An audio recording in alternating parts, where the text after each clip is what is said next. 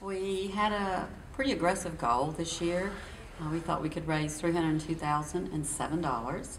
Um, looking at back what we had done in the previous years, we had been like 310,000, 317,000 uh, actually for last year, but we still had to factor in the business, uh, the economy, you know, layoffs and such. And um, while some people were saying, "Oh, let's go 315," we wanted to be conservative. We didn't want to uh, put the expectations too high on our community uh, because it's always great to celebrate um, something that you've achieved, as opposed to just constantly trying to nickel and dime people to death.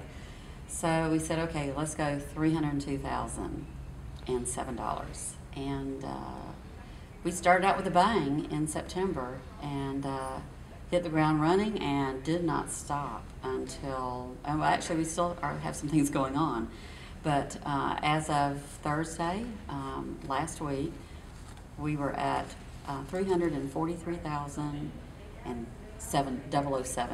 and we did that for Sam McCratchin, who was the uh, United Way Coastal Empire campaign chair, with the theme being Secret Agent Man. Um, it, it was an exciting campaign. We had some great new accounts that we opened up. We were so glad it was indeed a victory celebration.